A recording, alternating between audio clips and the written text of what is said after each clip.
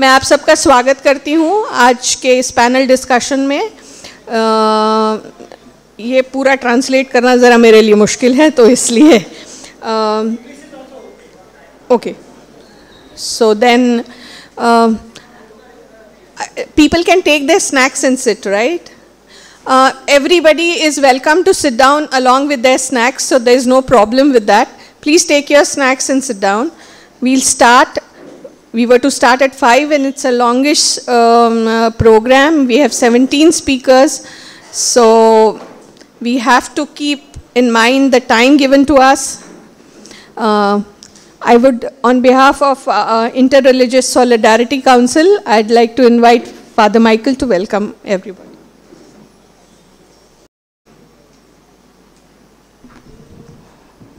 Last few days it was raining so heavily, uh, we were wondering how to go about, about this program, but the response what we see is very much encouraging.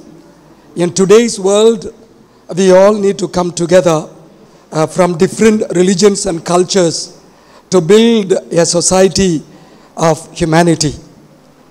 So I stand before you on behalf of the organizations, Interreligious Solidarity Council, Institute of Indian Culture, and Center for the Study of Society and Secularism.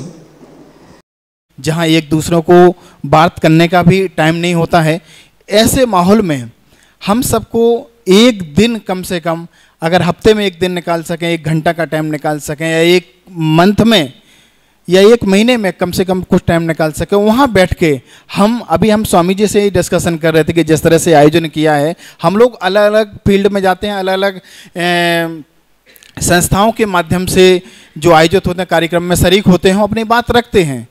लेकिन, एक minute madam, बस। और बात रखते हैं, लेकिन हम सबको अपनी सोसाइटी में रहकर ऐसे छोटे छोटे प्रोग्राम या, या मीटिंगें जो हम समाज में अगर घर परिवार में तकलीफ़ हैं या सोसाइटी में तकलीफ़ हैं या मोहल्ले में या शहर में तकलीफ़ है तो हमें उसको निराकरण करना चाहिए। उसके जो द्वंद्व हैं उसकी जो शंकाएँ हैं हम एक दूसरों को अगर सॉल्यूशन ढूंढेंगे तो मैं समझता हूँ निश्चित ही ये सॉल्यूशन हो सकता है। और हम लोग अभी आज से इस कार्यक्रम से एक प्रेरणा ज़रूर लेके जा रहे हैं सर। आपने जो हमेशा इतने अच्छे कार्यक्रम करते हैं मैं आपके दूसरी बार आया हूँ आपके कार्यक्रम में और यहाँ से एक प्रेरणा ज़रूर लेके जाऊँगा।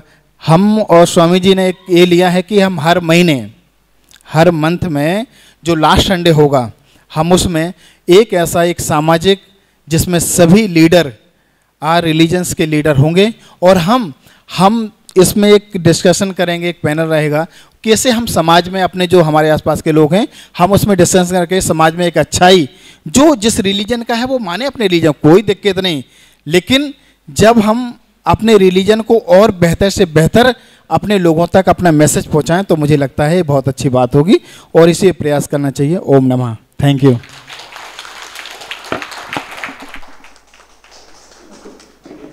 धन्यवाद स्वामी जी स्वामी जी ने बताया कि आ, आ, अगर कोई आ, समाज में अगर परेशानी और इस तरह का भेदभाव पैदा करना चाहता है तो वो कर सकता है। और अभी हम देख रहे हैं अभी जो यूपी में एक सर्क्यूलर निकाला है, कावड़ियाँ जो जा रहे हैं, उनके उनके वहाँ पे जो स्टॉल लगाते थे, खाने के स्टॉल लगाते थे, उनके इसमें एक सर्कुलर निकाला है कि लोगों को अपने नाम और वहाँ पे उस स्टॉल पे काम करने वाले एम्प्लॉयज़ के नाम आज तक कावड़िया कावड़ तो बहुत सारे प्रदेशों में चल लेके जाते हैं लोग बहुत सारे प्रदेशों से लेके जाते हैं लेकिन कभी भी इस तरह की धार्मिक कम्युनल राइट्स होने की कोई भी कभी भी सुना नहीं गया था और अभी इस तरह का जो आ, ये है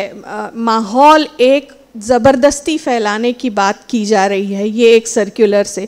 क्योंकि आप कांवड़िया शायद मुसलमान नाम देख के या दलित नाम देख करके उन लोगों के स्टॉल्स से नहीं खाएँगे तो आर्थिक दृष्टि से भी लोगों का नुकसान करने का और कौमवाद फैलाने का काम कुछ लोग कर रहे हैं। और ऐसी परिस्थिति में बहुत बड़ा अपहिल टास्क हो जाता है कि हम कैसे सद्भावना बना के रखें। धन्यवाद Swami ji. Uh, I would now like to invite um, Fir Firdaus pa Pavri ji. Uh, he is currently the managing head of uh, Gamadia Agyari in Fort Mumbai. Sir, you have five minutes.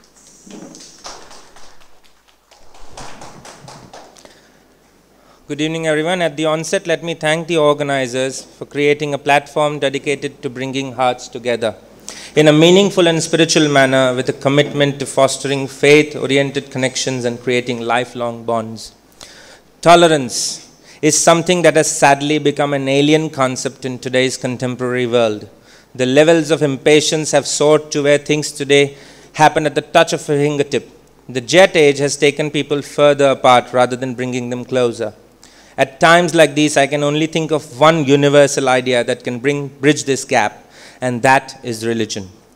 As you would have probably guessed, I am a Parsi. I have schooled at the Don Bosco High School in Matunga, and my alma mater has always taught me that basically all religions have the same tenets. It is man who has divided faith into independent pockets. Eons ago, perhaps millions and millions of years ago, Shrishti, Kainat, the universe was born. God made his beautiful creations and then God created man to enjoy these beautiful creations. Presently, from all the plants, animals, and birds, he chose to bless his greatest creation, that is man, us, with the power to think, to feel, to act rationally. Oh, yes, we are his prized creations. But what have we done? We are at each other's throats all the time. We fight over pieces of land, over pieces of gold, over oil. Look at nature. Has any animal species ever caused extinction for the other? But look at us. We are a threat to our own brethren. Bloodthirsty, power hungry monsters we have become.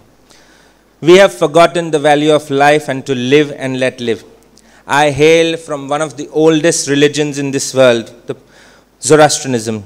Our prophet Zarathustra has given us three simple principles that is Humata, Hukta, and Huvarashta, which basically means good thoughts, good words, and good deeds. They are the easiest, yet the most profound and towering concepts upon which the very core of humanity is based. Follow them, and you will never falter. Heed the path of righteousness, and you will never take an immoral step. A real preacher will always teach you to know your inner self and will thus take you nearer to God. We are peace loving people and a community that's been able to laugh at themselves to bring a smile to all of others. In the contemporary cosmopolitan society that we live in Mumbai, we are sadly living in contempt rather than in peaceful coexistence. Everyone has the right to live without fear and isolation, physical violence and religious intolerance can cause. And so there should be no discrimination based on religious beliefs and practices. Utmost caution should be taken by all of us to not hurt the religious sentiments of our other neighbors while celebrating our festivals.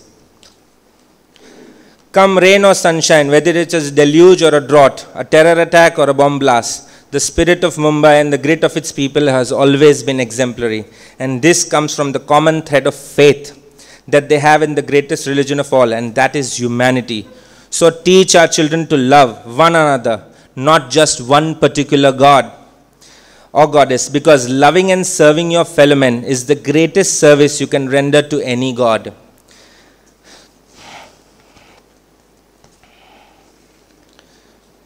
Loving God's mean doing good deeds. That would make God love you. If you serve the Lord's greatest creation, that is all other human beings, and then in turn you are serving Him.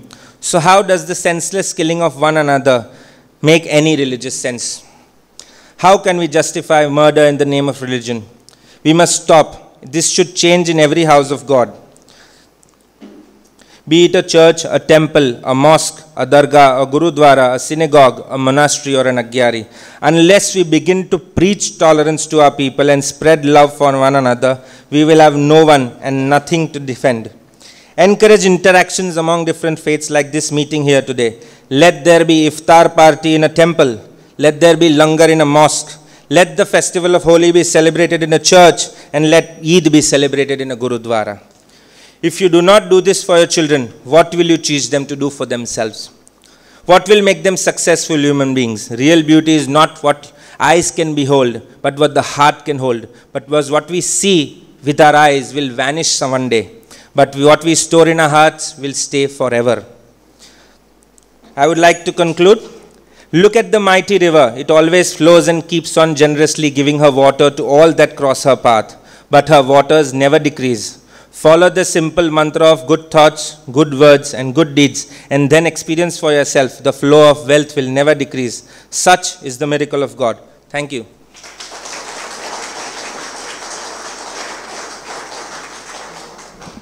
Thank you so much. And with, with this good thought, good work, and good deed, we go to the next speaker. Uh, our next speaker is Seema Indorwala. And Seema is from the Baha'i uh, faith. Uh, she is actively involved in various activity of Baha'i faith, conducts youth empowerment program with junior college students. Seema, you have five minutes.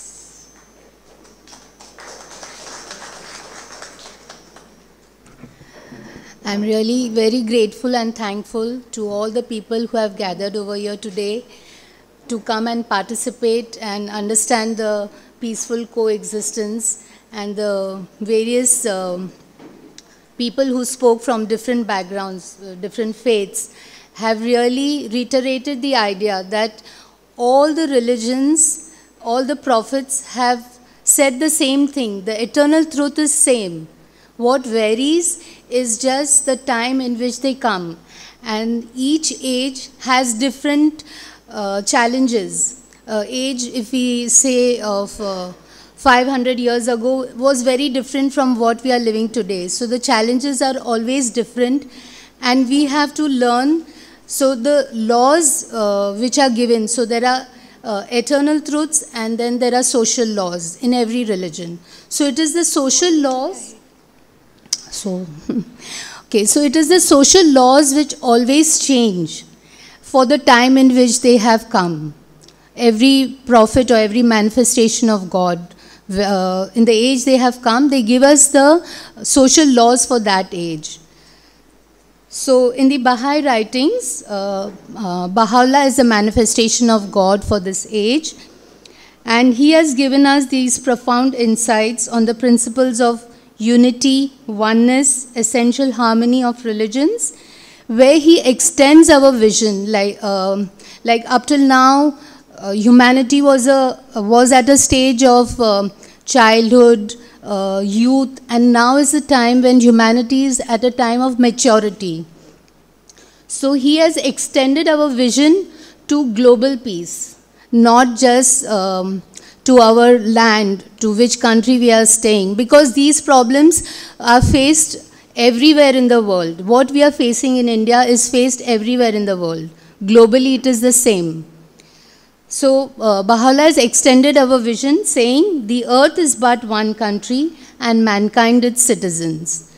And this foundational principle underscores the interconnectedness of all the peoples and the unity of humanity, calling us to strive for a world where diversity is celebrated and unity prevails. There is another quote, I think it was reiterated by um, two, three um, earlier speakers, but I would just like to uh, give this quote which Baha'u'llah says, O children of men, know ye not why we created you all from the same dust? that no one should exalt himself over the other. Ponder at all times in your hearts how ye were created. Since we have created you all from the same substance, it is incumbent upon you to be as one soul, to walk with the same feet, and to dwell in the same land, that from your inmost being by your deeds and actions, the signs of oneness and a sense of, a sense of detachment may be made manifest. Such is my counsel to you, O concourse of light. Heed ye this counsel, that ye may obtain the fruit of holiness from the tree of wondrous glory. So, I know the bell has rung. I'll just very shortly, I try to analyze that when all the faiths, all the religions are speaking of the same eternal truth and peaceful coexistence, then why is there so much unrest and um, the riots and everything that we face? So, one of the causes is, um, one of the causes or the breeding ground is prejudice. Prejudice of race, of religion, political opinion, and in religion in racial attitudes, in national bias, and in politics. So long as these um, uh, prejudices continue to breed, we will never be able to come together. So long as will the foundations of the social order will be blown into the four winds and humanity will be exposed to direst peril. Peaceful coexistence in multicultural societies can be achieved through the abandonment of prejudice and acquisition of morals and virtues. So I end with this. Uh, Baha'u'llah says, Ye are all the fruits of one tree and the leaves of one branch.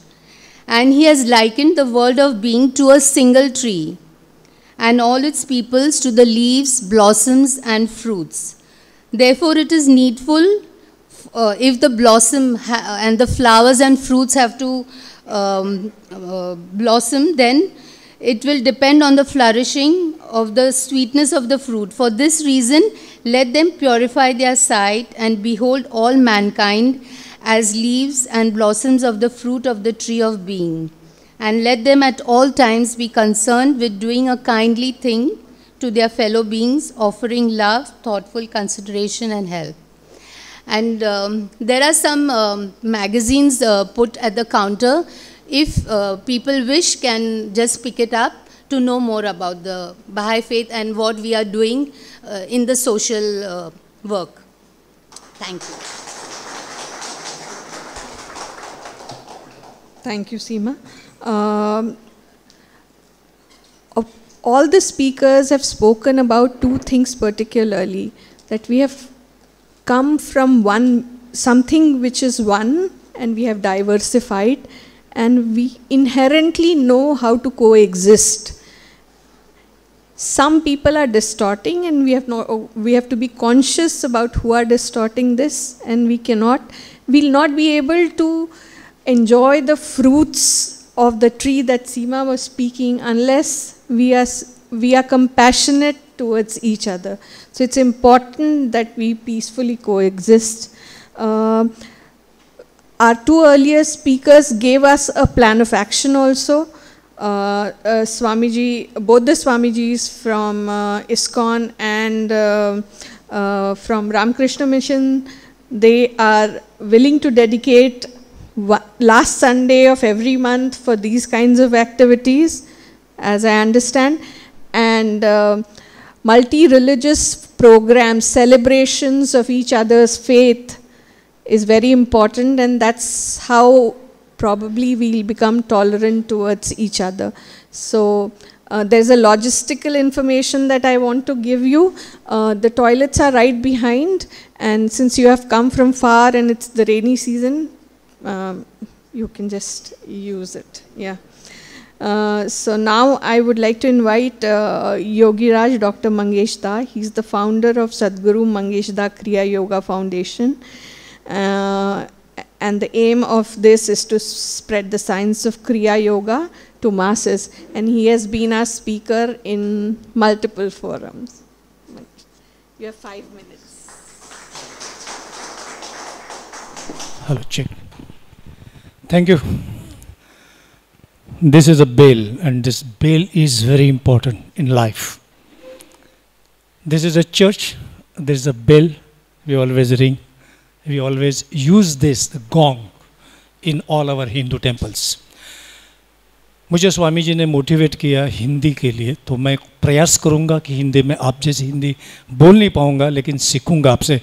सारे महानुभाव को मेरा प्यार भर नमस्कार all my sisters brothers thank you so much for coming and showing your integrity and we are all here because of the main reason we are all one all this programs what we did earlier it this is I think a very good crowd and I think the common part is we are all one and I feel that I mean Hindu धर्म में सबसे पहले जिनके बारे में लोग सोचते हैं विवेकानंद जी, उनको दो मिनट मिले थे।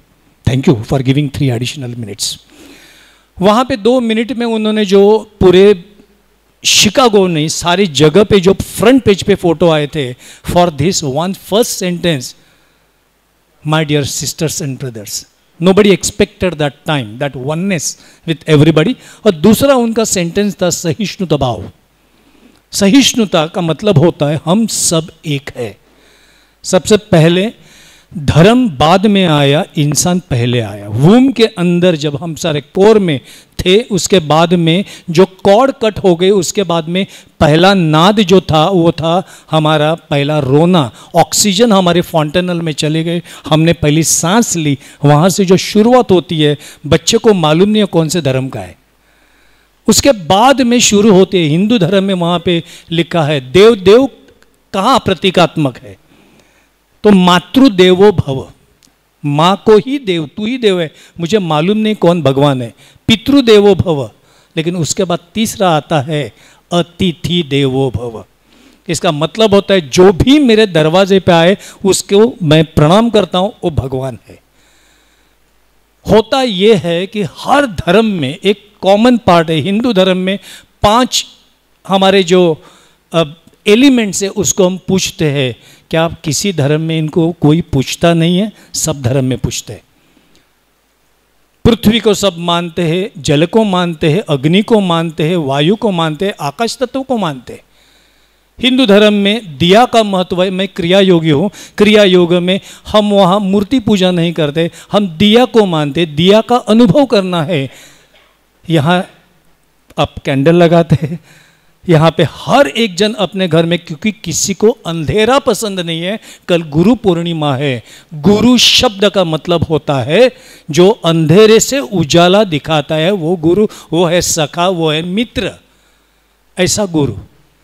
और इसकी पूर्णिमा जो व्यास जी ने शुरू की थी, वो है। और मुझे तो ये पूरा हॉल यहाँ खचाखच लाइट से भरा हुआ दिखता है, सारे ज्ञानी लोग यहाँ पे बैठे हुए हैं। मुझे इतना ही लगता है। धर्म में अधर्म लाने वाले लोग किसी दूसरी कुर्सी पे बैठे यहाँ कोई हो ही नहीं सकता। वो डाल रहे वहाँ पर जहर डाल रहे हर बार, क्योंकि उनको कुछ चाहिए। उसके बाद आदमी बाहर निकल के कैसे अंगूठा दिखाए, देखो ये ये, फिंगर, इंगर, यहाँ पे कुछ टीका लगा है। कोई भी अच्छा आदमी, इंसान चाहेगा नहीं कि हिंसा हो जाए। कोई भी नहीं चाहेगा। हम सब प्रेम की भावना से अपने अपने धर्म में जीते हैं। उसका भेदभाव करने का कोई मतलब ही नहीं है। लेकिन तो भी कुछ लोग, मैंने सबसे अच्छी बात कुछ लोगों में देखी अभी अभी मैं कश्मीर से आ रहा हूँ। और कश्मीर में लोगों से मैंने बात की, इतनी अच्छी बातें मेरे साथ उन्होंने की है, आप आना, कभी आ रहे बोले हम आपका इंतज़ार करेंगे। और मैंने भी बोला, अगर हो सके तो हमारा ये ग्रुप लेकर हम लोग वहाँ जाएँगे। और मैं ऑर्गेनाइज करूँगा, इतने अच्छे हमारे वहाँ पे संबंध हो गए। कितने लोग मिले जो गले लग रहे हैं कि आप जो बोल रहे हैं, बस यही है तो हमें चाहिए, हमें क्या पड़ा है यहाँ? इनके ये इनके, ये गोली बार कर रहे हैं, हमें थोड़ी अच्छा लगता है। सारे जगह पे यही बात है। और मुझे ऐसे लगता है कि एक आनंद हंसना, मेरे गुरुजी ने मुझे एक बात सिखाई। जब मैं उनके साथ रहता था, उन्होंने बोले कि सोने के पहले बेटा हमेशा देखना, तुम्हारे सामने कितने लोग आए, कितने मुस्कुरा रहे थे, समझना अपना बैंक बैलेंस बहुत अच्छा है। लेकिन उदास चेहरे का आदमी जो हंस नहीं सकता है वहाँ पर वहाँ पर हम ये सोचेंगे कि अपने मन की घंटी बजनी चाहिए अपने दिल की घंटी बजनी चाहिए और उसको जगाओ और उसको कहो ज़रा थोड़ा मुस्कुराओ life is beautiful everybody is beautiful because God cannot create anybody bad And that is the way I think we can integrate and meet. Let's not shake our hands, let's merge our heart with each other. Thank you so much, my dears. Thank you so much.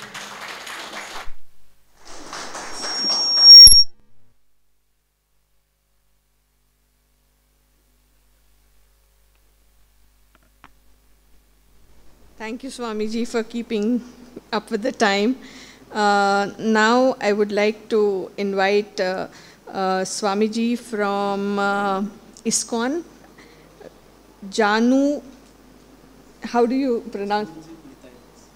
Nitai Das. Nitai Das, and he has mentioned Hari.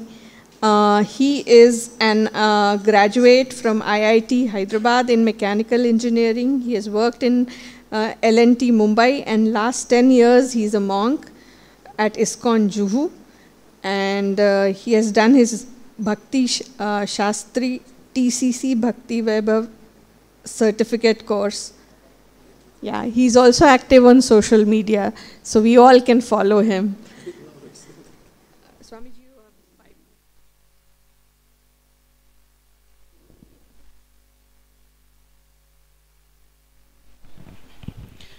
Thank you very much uh, for uh, inviting, and I'm very ha- happy to see all of you here. Uh, so I'm from uh, South India. I am not very good at Hindi, but I will use some Sanskrit words which can relate to us. So basically, uh, who take who cares for religion nowadays? Nobody, literally speaking, everybody is running behind career, money, everybody is running behind relationships, safety, security. Nobody uh, cares for religion nowadays. Hardly if some if someone is caring for religion or faith, higher purpose of human life, that is only intellectual people like all of you. In the Vedic times, there were uh, on Racha Banda, you know, on the under the street, under the, under the tree, all the gentlemen, elderly gentlemen, they used to gather in the evening times. At these times, they used to discuss Ramayana, Mahabharat, some uh, valuable moral lessons, human values. They used to discuss. So those people, only intellectual people who care for religion. Nowadays, youngsters, businessmen, everybody are very, very quite occupied with their career plans. So I'm very happy to be along with you, among all of you. I'm very, very humbled to see very elderly people and experienced in your practices. So for three things I would like to highlight in these few minutes. Number one, that we all we individually we are having some faith and we are practicing some practice path sadhana at our level with our parampara whatever we are in. But uh, such kind of different different va- various faiths are already considered previously in the dawn of ages no? Previously in the vedic times there are all various types of people. There are some people who think that i am the god. You are the god. Everybody is god. There are some people who think that there is no god. God created and died. There are some people who think that god is very old. There are some people who have think that god has a form there are some other people who think god doesn't have a form such various faiths are already there in our vedic text. And they have some practices. Still now this is nothing new having a different different religions are nothing new for us. It is from sanatana dharma from the dawn of the creation such various faiths are there various practices also there. But still they lived very happily you know, with the harmony peacefully they lived very happily. Still now we can uh, coexist we can solidify right? Ii IRSC we can solidify our faiths come together and practice this uh, sadhana whatever we are doing. And second thing when we practice like that the society sees us. We everybody every one of us are leaders of our communities. This society these youngsters they look us how we are dealing each other. If we fight among ourselves they don't like at all. And they lose the faith in religion. So it's all about how we are gathered here together having snacks together they, they feel very happily. They, they like it when, we, when they see us uniting like this. So our experiences should be practiced out of uh, utmost experience. We should practice very as a brothers and sisters. So then only we can preach whatever the practices whatever the faith. We can uplift the communities. We can uplift the humanity to think more than money more than relationships more than just food and So we should actually, our practices should be more matured enough.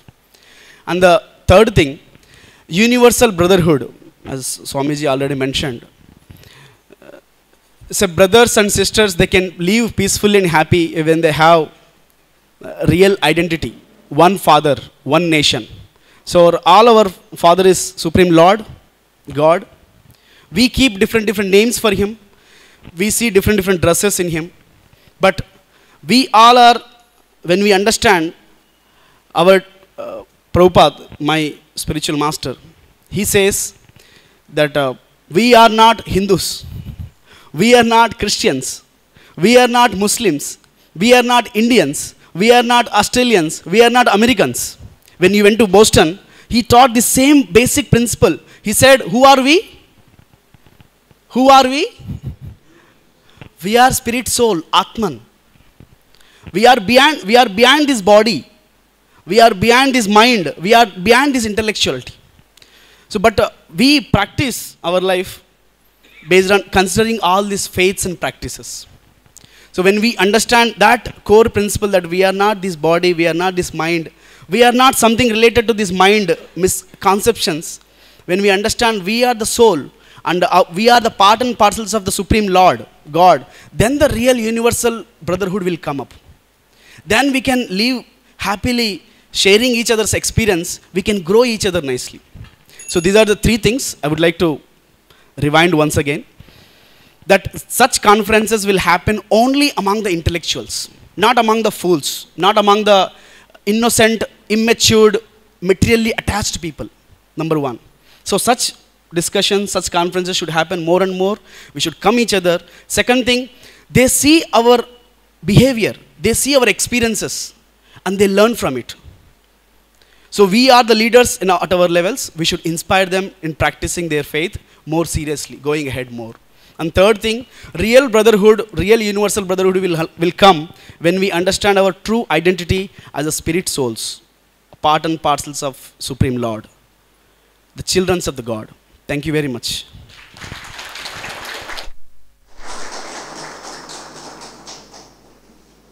Thank you, uh, Swamiji. Uh, I don't need to reiterate what he said. He said three things, and we have to bring that in practice, and it's very important to do so. So, we have to have many more programs like this so that we can spread the message of coexistence. Uh, now, I would like to invite Father S.M. Michael. He's the professor of, uh, he was the former professor of sociology in the University of Mumbai. Father, you have. Uh, for the last uh, 40 years, I have been doing my research why cultures and religions are different. And in my findings, I see that geographical factors, historical factors, power factors, and economic factors give difference in cultures. For example, if you take from Kashmir to Kanyakumari, we have various geographical uh, locations and we can see the difference in dress pattern, we can see the difference in food habits, and we also can see the differences of the concept of God. I have written quite a lot about it, but behind all these differences, what is important for us is to realize the common humanity. So, as a, a sociologist and also as a Christian, when I begin to reflect my faith and trying to link my research to a reality, I begin to understand that the crux, the foundation of Christianity is we are all created in the image and likeness of God. So, whether you are sick, black, white, rich, or poor, in the eyes of God, all of us have dignity. And this is the foundation. So, Jesus told us, you know, at the end of time, how I, how I will judge you. I was thirsty. You came and gave me water. I was naked. You gave me clothing. I was in prison. You came and visited me. And these people will ask him, When were you thirsty? When you were na- naked?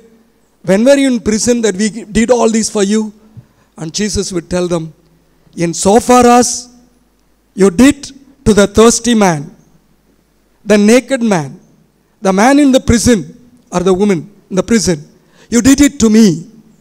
On the other side, he will tell them that you will not belong to my commu- uh, community or belong to me because I was thirsty, I was naked, I was in prison, you did not do anything for me. They would say, When were you thirsty? When were you in prison? They would, he would say, In so far as you did not do to a person who was thirsty, you did not do to me. So you don't, do not belong to me. So, what is our common humanity?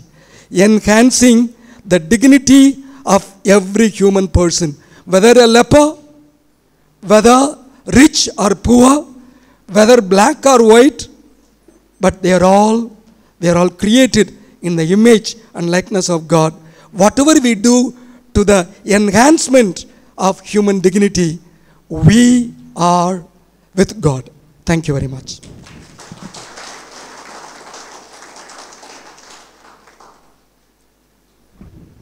Thank you, Father. He emphasized on something very, very important that we have to enhance the human dignity. What we see around us is disenfranchisement on the name of caste, class, religion, and we have to go beyond all this and empower people to attain that dignity. And that is one of the key work that we all have been involved in. Uh, our next speaker is uh, Karl uh, Shahukar. He's retired from a leading investment banking company last year. He's currently the trustee of Empowering Mobeds Trust and a traditional Zoroastrian and the traditional Zoroastrian trust. He'll speak about. He'll speak about the topic.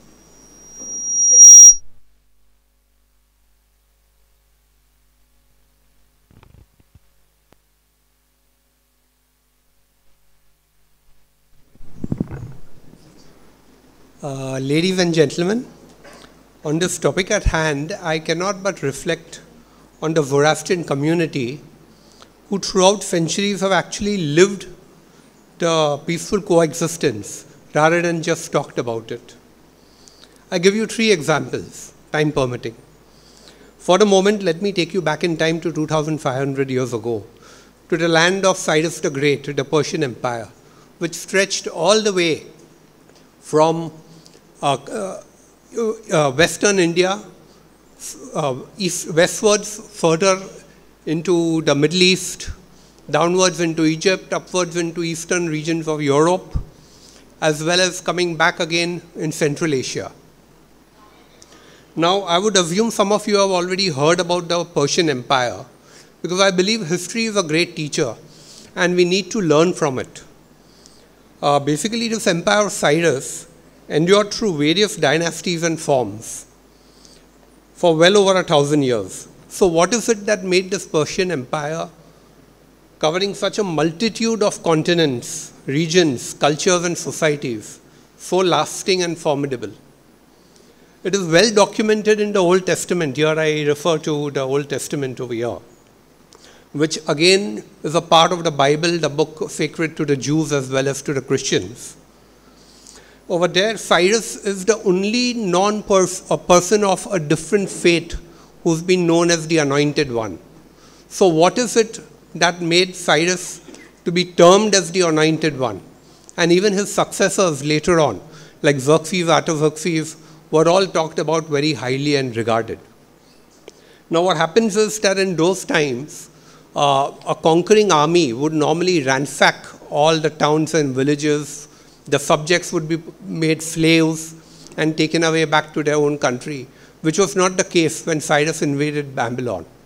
In fact, he uh, took over Babylon without, without spilling a single drop of blood.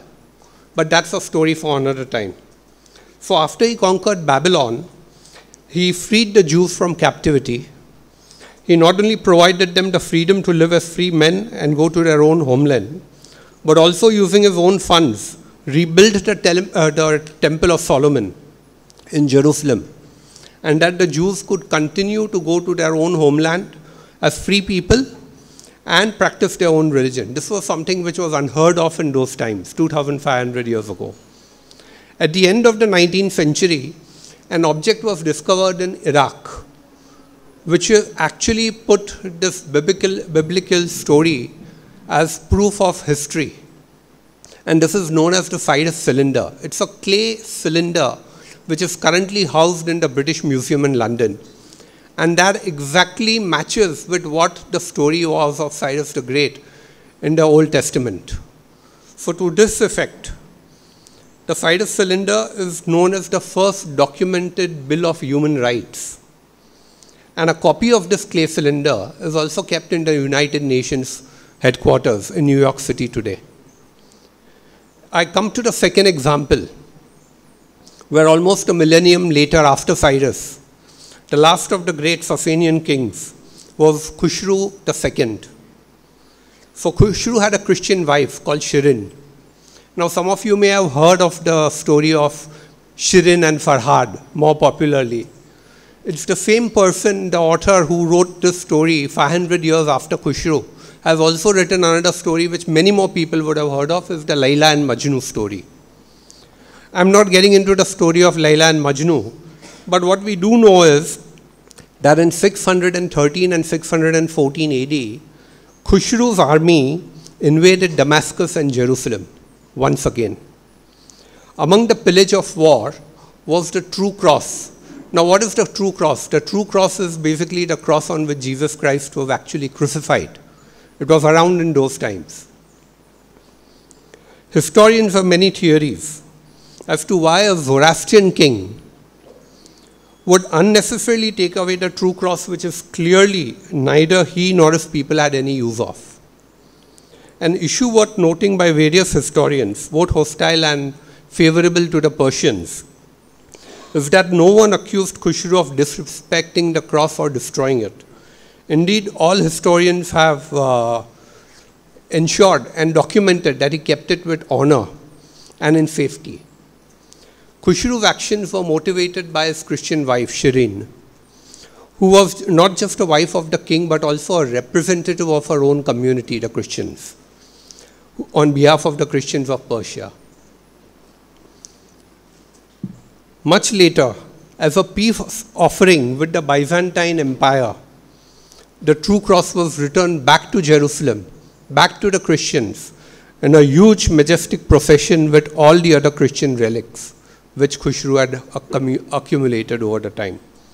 Hence, once again, that we see that whilst the true cross was brought to Persia, it was returned back in honor and magnanimity, keeping in mind the concept of live and let live for peaceful coexistence. The third and the final example which I want to give is when the Parsis migrated from Iran to India and they landed at the port of Sanjan, which is in southern Gujarat. It is said that when the Parsis arrived in Sanjan, the region was ruled by a Hindu king, Jadav Rana. Initially, the king mentioned that his kingdom was completely full, and symbolically, what he did was he presented a bowl of milk filled right to the brim, thereby expressing that the land has no further place for other people to come in.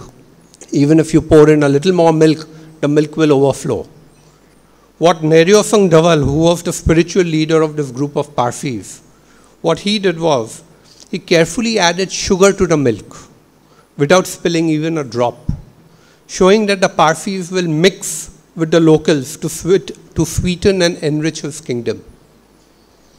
The king agreed to give them refuge and asked for Parsis to accept the five conditions. Number one was explain your religion. Number two, lay down your arms. Number three, speak the local language. That's why the mother tongue of Parsis is now Gujarati. Four, adopt the local dress. Parsis wear saris and like Firdosh over here, this is an offshoot of the Gujarati traditional dress which is there. And have their marriage ceremonies only after sunset. To this day, the Parsis have adhered to these conditions laid down by King Jadavrana well over a thousand years ago, thus fulfilling the promise made and enriched the land of India in all respects. They took up arms only against various invaders and fought side by side, giving blood and life along with their Hindu veteran. In conclusion, history is a fantastic teacher. If we fail to learn from it, we are doomed to repeat it and suffer the same consequences. Today, there are factions within factions, each having different agendas, each with different degrees of traditionalism and liberalism, and each trying to trump the other, losing sight of the fact that we are all Indians, first and last. We need to look for common ground to unite and a force which binds us all in cohesion. Only time, the great leveler, can tell what the future holds for us. Thank you.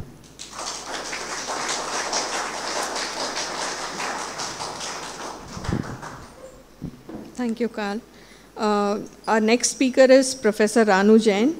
Uh, she'll speak about Jainism. She holds a position of professor and chairperson at the Center for Study of Sociology of Education at Tata Institute of Social Science, Mumbai.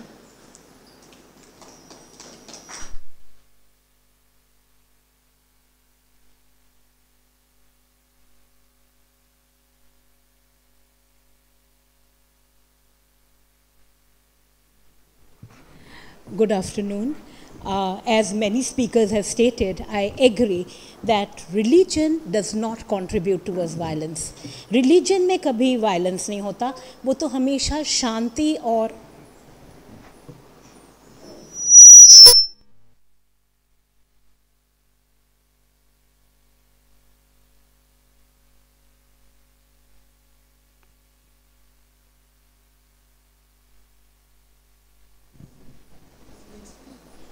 Okay okay okay तो religion में तो uh, मैंने तो कभी किसी religion में कोई violence नहीं देखा। वायलेंस फेथ में नहीं है। फेथ में तो एक टॉलरेंस uh, है एक खुद के संग संतुष्टि का जीवन जीने की प्रेरणा है। वायलेंस होता है पॉलिटिकल मैनिपुलेशन ऑफ़ फेथ में और ये ये मुद्दा हम लोग आज नहीं उठा रहे क्योंकि सिर्फ़ पाँच मिनट है। पाँच मिनट में आप इतना बड़ा टॉपिक नहीं डील कर सकते। और पाँच मिनट में जैनिज़्म जैसे एक धर्म के बारे में बोलना भी बहुत मुश्किल है। आ, लेकिन मैं बताऊँगी क्योंकि मुझे लगता है कि जैनिज़्म के बारे में ज़्यादातर लोगों को बिल्कुल भी पता नहीं है। जैनिज़्म एक रीज़न ये भी हो सकता है कि बहुत ही एक छोटी सी छोटा सा even less than 5% of Indian population are Jains. No, 0.5%. We are 0.37 in, uh, in accordance to uh, Census of India 2011. Uh, Jainism I mean मैं जर्नलिज्म से इंट्रोड्यूस हुई जब मैं पीएचडी कर रही थी और मेरे को लोगों ने डेटा देना बंद कर दिया उन्होंने कहा पहले जाके अपने धर्म के बारे में मालूम करो तब मैंने बैठ के जर्नलिज्म की फ़िलासफ़ी पढ़ी एंड आई वॉज़ अमेज्ड इतनी प्रोग्रेसिव और इतनी टॉलरेंट फिलॉसफी मैंने कहीं नहीं देखी थी। पोस्ट मॉडर्निज्म की अपन आजकल बात कर रहे हैं और जैनिज़्म मुझे तो पूरा पोस्ट मॉडर्निज्म में लगता है। एनीवे anyway, आप सिर्फ़ पाँच मिनट हैं तो मैं आप लोगों को जैनिज़्म के तीन चार महत्वपूर्ण मुद्दे बताऊँगी या आयाम बताऊँगी। एक तो ये कि जैनिज़्म भगवान पे विश्वास नहीं करता। जैनिज़्म बोलता है कि एक शक्तिपुंज है, हमारी एनर्जी। और हम अपने, अब ये एक व्यक्तिवादी रिलीजन है, ये बोलता है कि आपको अपने ऊपर कंट्रोल करना होगा, आपको अपना खुद का मार्ग, खुद अपनी ज़िम्मेदारी से और अपने डिसिप्लिन से चुनना होगा और उस पर अग्रसर होना होगा। आपकी ज़िम्मेदारी आपके ऊपर है, आपके कर्मों की ज़िम्मेदारी आप किसी और को नहीं दे सकते। अगर आप किसी मॉब में जा रहे हैं तो वो आपकी ज़िम्मेदारी है। वो आपका कर्म होगा। तो जैनिज़्म में हमारे जो तीर्थंकर हैं, उन्होंने जो केवल ज्ञान और निर्वाण की प्राप्ति करी है, तीर्थंकर मीन्स प्रॉफिट्स उन्होंने जो ये प्राप्ति करी है, वो भी अपने कर्मों से, अपने ज्ञान से, अपनी समझ से की है।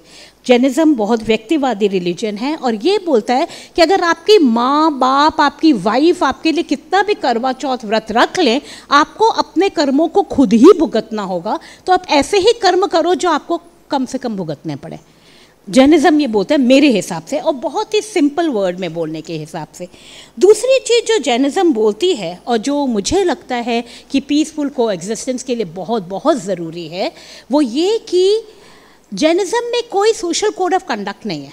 स्वामी जी लोगों के लिए है ले मैन के लिए, श्राव, श्रावक के लिए भी ठीक है, पर ले मैन के लिए कोई कोड ऑफ़ कंडक्ट नहीं है। जैसा देश, वैसा भेष। आप गुजरात में हो, आप गुजरातियों की तरह रहो। आप बंगाल में हो, आप बंगालियों की तरह रहो। आप उनकी तरह शादी करो। आप उनकी तरह सारे रीति रिवाज को फॉलो करो। इससे जो एक सबसे बड़ा फ़ायदा जैनों को होता है वो ये कि जो एक इनटॉलरेंस ऑफ़ डिफरेंस होता है, जो फ़िज़िकल अपियरेंस के थ्रू आता है आपने साड़ी पहनी है, आपको ऑस्ट्रेलिया के स्कूल में एंट्रेंस नहीं मिलेगी। आपने बुरका पहना है, आपको इंडिया के स्कूल और कॉलेज में एंट्रेंस नहीं मिलेगा। ये सब चीज़ें जैनों को नहीं फेस करनी पड़ती, क्योंकि वो फ़िज़िकल डिफरेंस उनके, उनको बाधा नहीं देता। एक एक ट्रस्ट पैदा हो जाता है। ये तो हमारे जैसे ही लोग हैं। ये तो हम ही जैसे हैं। हाँ डिफरेंस है। हम लोग, अमर जैन बहुत ज़्यादा वेजिटेरियन हैं और उनके अपने रूल्स हैं, उनकी अपनी फ़िलासफ़ी है। पर वो आम जीवन में बाधा बन के बहुत कम देखी गई है और मैंने रिसर्च बॉम्बे में भी की है, मैंने कैलकाटा में भी किया अब होपफुली मैं बेंगलोर में जाके भी करूँगी। और मैंने हर जगह देखा है कि Jains have adjusted very well with the local culture जैसे वो बता रहे थे। बोला जाता है कि लोकल कल्चर के संग्रह। तीसरी चीज़ जो स्वामी जी ने भी बताई, हमारी फिलॉसफी अनेकांतवाद। अनेकांतवाद को सिर्फ़ अनेकांतवाद के संग नहीं पढ़ा जाता, इसके तीन आयाम हैं। अनेकांतवाद, सियादवाद और नियास। अनेकांतवाद बोलता है कि रियलिटी का मल्टी डायमेंशन है। It talks about the fact that there is the reality that we get exposed to. जो reality को हम देखते हैं, वो हम अपने डिपार्चर पॉइंट और अपने लिमिटेड संसाधनों के कारण देखते हैं। उसका इंटरप्रिटेशन भी अपने डिपार्चर पॉइंट और अपने संसाधनों के कारण करते हैं। और वो पूरी रियलिटी नहीं है। इसलिए किसी भी चीज़ में बहुत डट के, बहुत फिक्स्ड होके, बहुत रिजिड होके ओपिनियन मत बनाओ। दूसरा आदमी भी सही हो सकता है, क्योंकि वो दूसरे रियलिटी के दूसरे पहलू से एक्सपोज हुआ है। हम लोगों के एक बहुत इंटरेस्टिंग कहानी है हाथी की। अगर आप हाथी सात अंधे थे, एक ने हाथी की सूंड को छुआ, उसने कहा, अरे वाह, हाथी तो बहुत ही सॉफ्ट सॉफ्ट पतला पतला है। एक ने हाथी के टस को छुआ दांतों को, और उसने कहा हाथी तो बहुत हार्ड है। देखो कितना कठिन है। आपको जो आस्पेक्ट से आप एक्सपोज हो रहे हैं आपको वही सच लगता है, पर आपको हमेशा मानना होगा कि वो पूरा सच नहीं है। उसमें आपका कल्चर आप कैसे इंटरप्रेट कर रहे हो, ये सब चीज़ें बहुत ज़्यादा मान्यता रखती है। ये ये जैनिज़्म का एक बहुत इंपॉर्टेंट आस्पेक्ट है। I would love to tell you और about the contextualization of interpretation which comes with Syadvada and हमारा खुद का जजमेंट और stand point which comes with Niyas वो बोलता है नियास बोलता है कि हम लोग एक कोई चीज़ लेते हैं, उसको हम लोग अपने कल्चर और अपने अपने पास हिस्ट्री के हिसाब से इंटरप्रेट करते हैं। अब एक पानी रखने की चीज़ है। उसको कोई बोलता है जग, और उसमें फ्लावर्स रख दो तो वही बन जाता है फ्लावर वास अब ये आप पे डिपेंड करता है कि आप उसको जग की तरह ले रहे हो या फ्लावर वास की तरह। अगर कोई आके आपको कुछ बोल रहा है तो आप उसको नेगेटिव लोगे कि पॉजिटिव ये आप पे डिपेंड करता है। और आप कितना ज़्यादा सच्चाई को जानते हो उस पर डिपेंड करता है। तो जैनिज़्म ये भी एक बात बोलता है। और आ, सबसे बड़ी चीज़ कि ये सब चीज़ें जो जैनिज़्म के वो मैंने सिर्फ़ थोड़ा थोड़ा सा छुआ है मुद्दों को और ये जो चीज़ें हैं जैनिज़्म की, ये एक टॉलरेंस बढ़ाती हो। गया हो गया हो गया। हम अबाउट टू फिनिश ये जो है चीज़ें, वो एक हमारे अंदर टॉलरेंस बढ़ाती हैं। Tolerance for for difference and tolerance to take things empathetically आप भी सही हो, हम भी सही हैं। मिल बैठ के बात करते और देखते हैं कि क्या हम सच्चाई के दो पहलुओं को, तीन पहलुओं को समझ सकते हैं। Thank you very much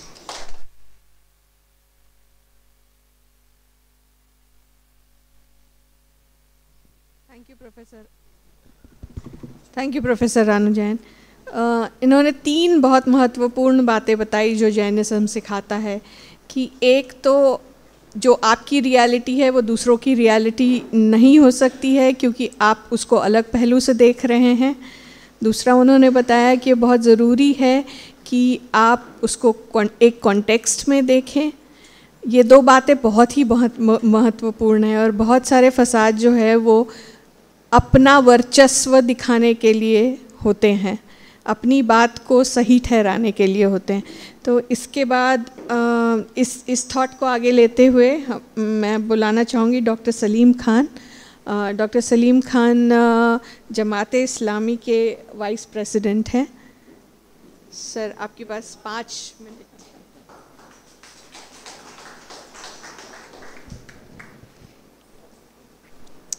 आधा वर्ष है।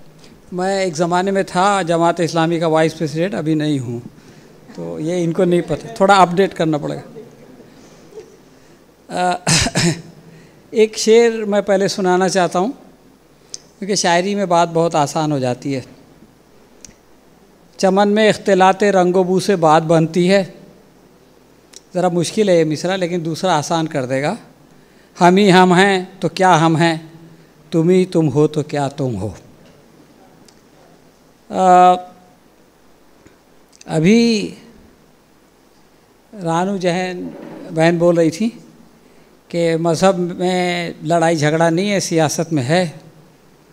और उससे पहले श्वेता तांबे साहब ने भी कानोड़िया का ज़िक्र कर दिया था।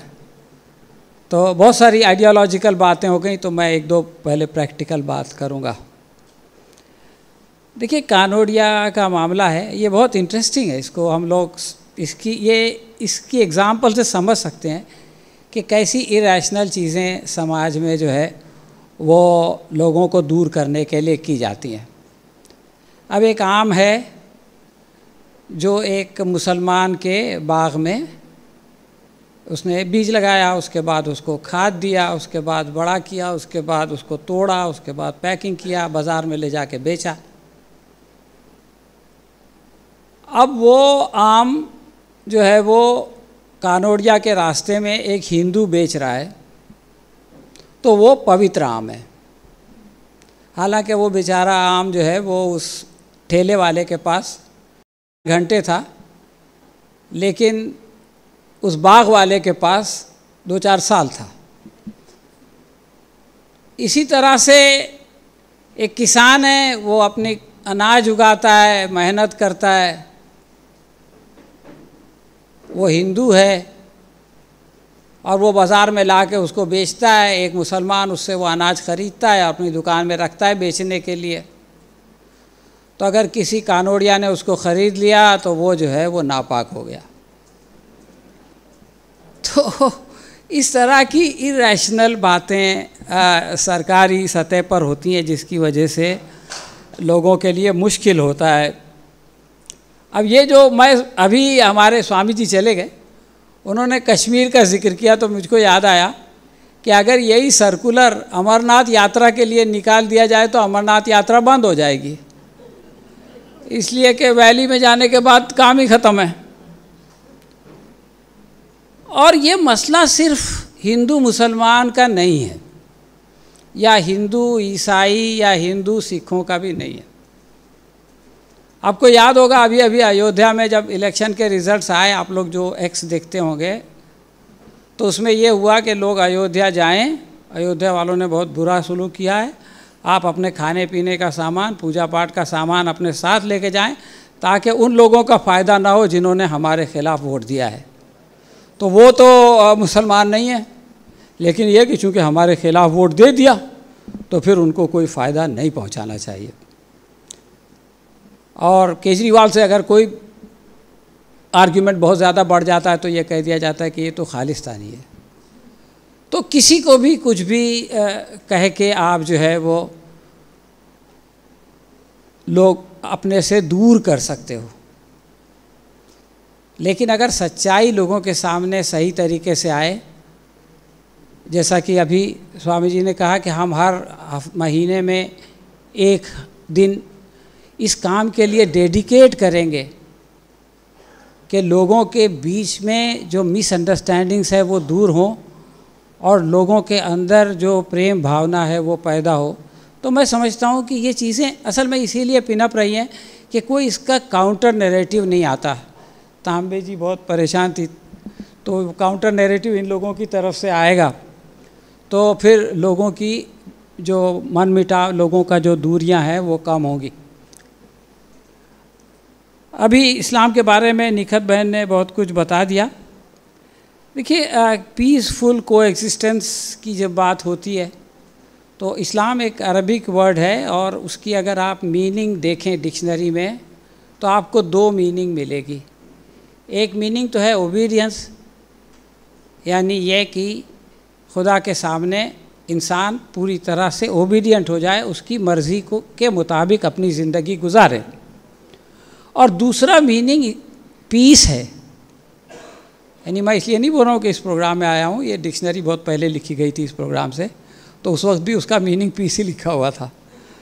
तो आ, तो ये जो चीज़ है ना पीस ये कोई ऐसी चीज़ नहीं है कि भाई अगर जंग ना हो अगर वायलेंस ना हो तो पीस है ऐसा नहीं है। पीस असल में इंसान के नेचर में देखिए हम खुद पीसफुल रहना चाहते हैं। जब हमारे अंदर का पीस डिस्टर्ब हो जाता है तो हम परेशान होते हैं और दूसरों को भी परेशान करते हैं। तो हर इंसान अपने लिए पीस चाहता है। लेकिन अगर वो दूसरों के लिए भी पीस चाहने लगे, वो ये सोचे कि जो मुझको पसंद है, वो सबको पसंद है, क्योंकि हम सब इंसान हैं और हमारे सबकी जो आत्मा की बात हो रही थी, हमारी सबकी आत्मा जो है, आप बता रहे थे, एक ही चीज़ मांगती है। और इसका हमको इंतज़ाम करना चाहिए, इसका रिस्पेक्ट करना चाहिए, इसको आम करना चाहिए। तो मैं समझता हूँ कि पीसफुल को हो सकेगा। यानी इसको जो है वो कोई ज़रूरत की बात नहीं है कि हम चूँकि समाज में तनाव है इसलिए पीस बल्कि पीस जो है वो हमारे नेचर के मुताबिक ज़िंदगी गुजारना है। और इस लिहाज से इसको इम्पोर्टेंस देना चाहिए। इस्लाम की बात, चूँकि यहाँ पर सभी लोग अपने अपने धर्मों के बारे में बता रहे हैं। तो इस्लाम में एक वर्स है जो अक्सर कही जाती है कि पीस डिस्टर्ब उस वक्त होता है जब इनटॉलरेंस आता है। तो इस्लाम में ये बात कही गई है बहुत साफ़ तौर से कि रिलीजन के बारे में कोई कंपल्शन नहीं है। आप किसी को ज़बरदस्ती करके अपने रिलीजन में नहीं ला सकते। और सच्चाई और जो बुराई है वो अलग अलग करके रखी गई है। अब यह है कि इंसान जो है वो फैसला करता है कि उसको किस रास्ते पे चलना चाहिए और जब वो सच्चाई के रास्ते पे चलना, चलने की कोशिश करता है तो खुदा उसकी मदद करता है, उसके लिए राहें आसान करता है। तो ये बेसिक प्रिंसिपल है कि हम जो है वो किसी पर अपना मज़हब थोपेंगे नहीं, इस बारे में कोई कंपल्शन नहीं करेंगे तो मैं समझता हूँ कि बहुत सारा को एग्जिस्टेंस का एक बेसिक बुनियाद बन जाती है।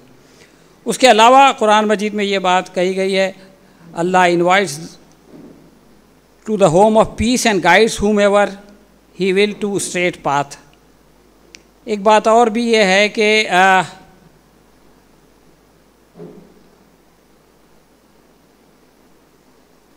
जो लोग अमन के साथ रहना चाहते हैं तो उनको जो है वो खुदा पसंद करता है, उनसे मोहब्बत करता है।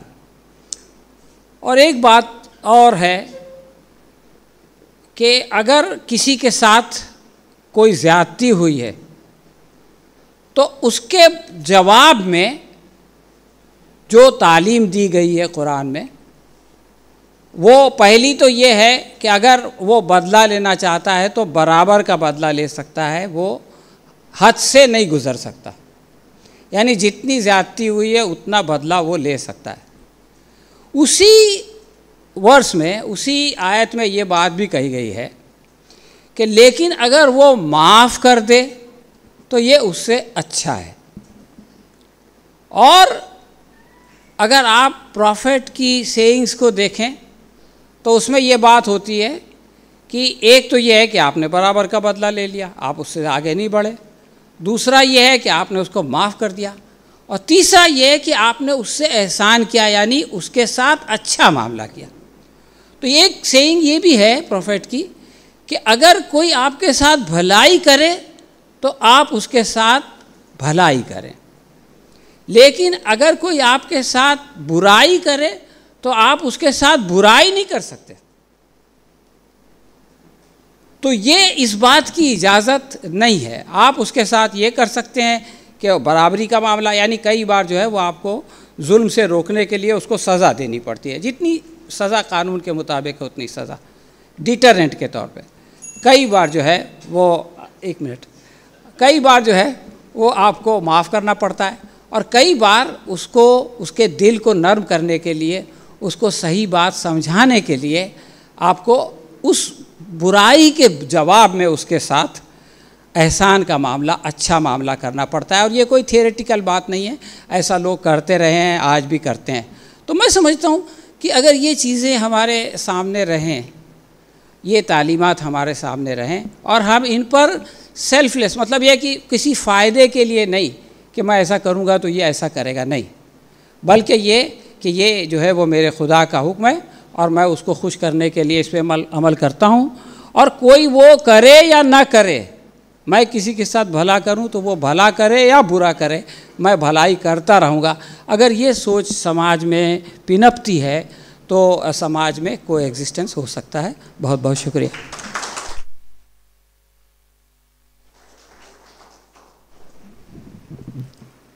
Thank you doctor Salim doctor Salim ने बहुत सारी बातें ऐसे कही जो इस्लाम में कही गई हैं और जो पीसफुल को एग्जिस्टेंस के बारे में कहती है, उस वो बताती हैं। इसमें से जो आखिरी बात उन्होंने कही कि कोई आपके साथ अच्छा करे तो आपने अच्छा करना चाहिए, कोई आपके साथ बुरा करे तो भी आपने उसके साथ अच्छा करना चाहिए। और I take this from what he said and taking this thought ahead I would not like to invite sister Sagaya Uh, sister Sagaya is a practicing lawyer. She is active in Concerned Citizens Group for building peace among communities.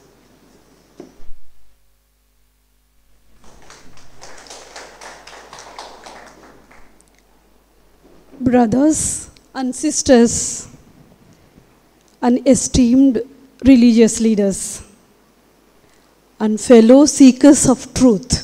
We all of us are seekers of truth. And in the context of Christianity, building bridges, embracing peace, love, justice across our faith as we are here today, we find ourselves at the crossroad, a sacred connection where our diverse paths meet. Our faith tradition may vary, our faith tradition may vary, but our shared humanity unites us. Today, all of us embark on a journey of dialogue. A journey that transcends dogmas or rituals, reaching into the depth of our hearts. As I said to you all, the contest of Christianity, the value of peace, love, justice, humanity, and brotherhood this is the nucleus of Christianity. Peace. Peace is not a private state. Just now he explained about the peace. It is an active pursuit. In the quiet chambers our soul, we yearn for peace, for the serenity that soothes the restless spirit.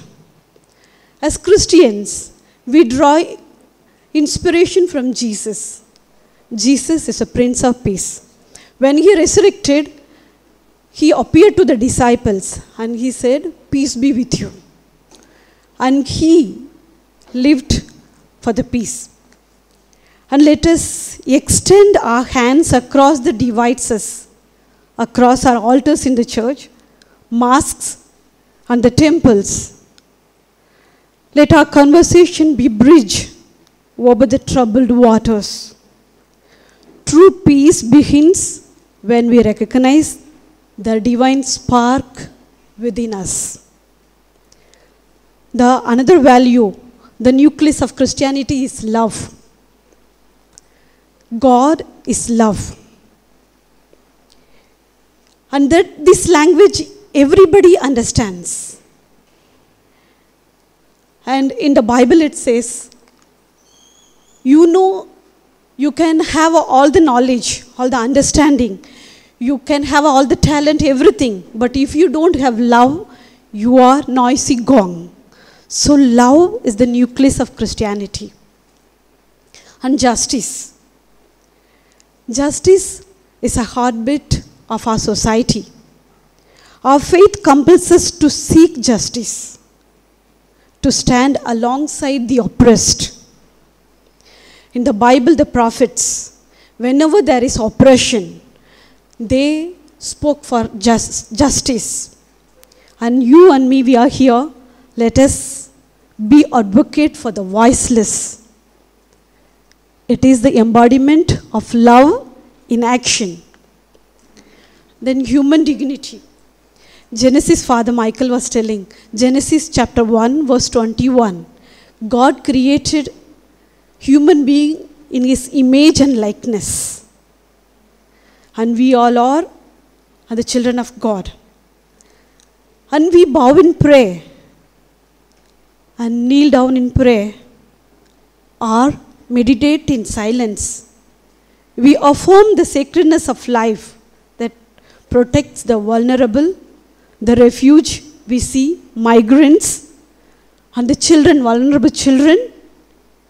And when we honor the dignity of these people, we all of us honor God. Brotherhood.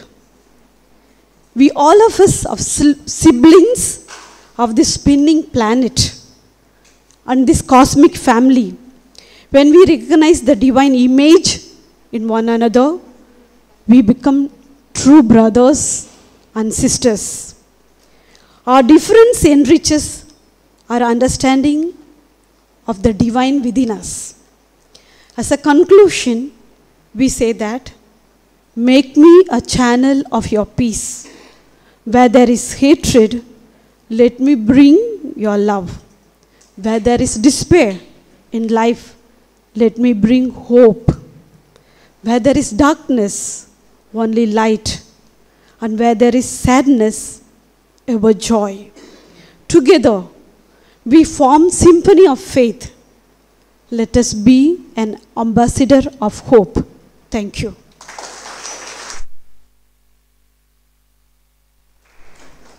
Thank you, Sister Sagaya. I know everybody is feeling restless, but we only have two speakers and then the summing up.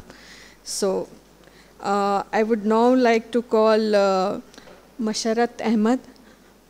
Uh, he's from the Ahmadiyya community and he's one of the leaders of the Ahmadiyya community. So you have five minutes.